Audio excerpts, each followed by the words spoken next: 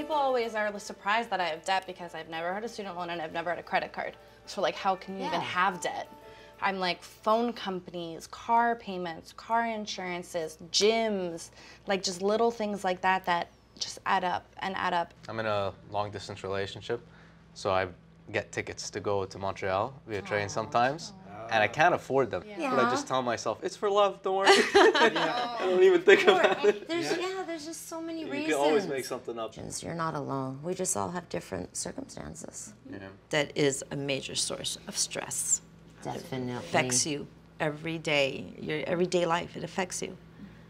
With stress, you know, I couldn't sleep right, I couldn't eat right. Everything, my daily routine got turned upside down. Yes. I was scared that they would contact my work Yes. and uh, Yes. they would start Freeze your bank accounts. freeze my bank account, garnish yeah. my wages. So these are all things that you're thinking about, and yeah. it's driving you crazy. I actually went through depression because of Yes. this. I was so hard on Same here. myself. Same I hated myself for what I did. My family was so worried about me because I was deteriorating.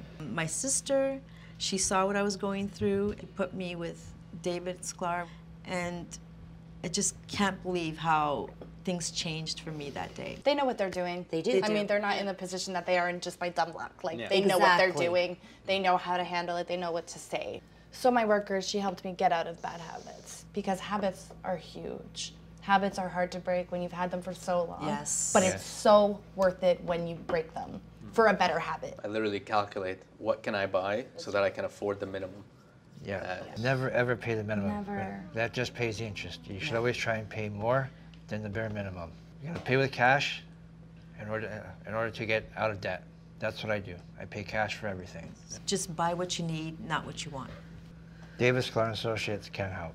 After that, that first phone call and that first initial consultation, I knew that everything was all right and everything would turn around, and that I would be able to live debt free. For me to be debt free, oh, it's being able to live in my means and, and be able to actually get it. My, my dream of being debt free is be able to sleep at night, wake up in the morning, and just think to myself, wow, Yes. no more debt. It doesn't feel uh, possible or realistic at this point. We all were where you are right now Yeah. with all those questions in our head. It will not go away until you take action and fix it. So go to David Sklar and Associates. Take our advice. Yes, make that phone call. The only thing is, I'm not really sure which way to go. Like, do I do bankruptcy? Do I do consumer proposal? Like, They will sit down. They will find a plan that that suits you. They're not gonna say do bankruptcy when it doesn't suit you. They're not gonna say do a credit proposal when it doesn't suit you. Yeah. What you do is you're going to go in, first of all, with all your bills, everything that you owe, your mm-hmm. debt load, okay? And they come to an amount that, That you can they afford. think Comfortable you for can him. afford and mm-hmm. your creditors will accept. Mm-hmm. mm-hmm. And when they give you that number, you're going to be overwhelmed thinking, wow. I should have done this sooner. Yeah, mm.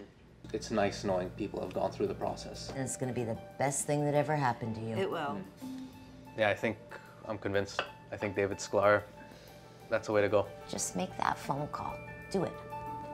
You'll feel much better. I promise.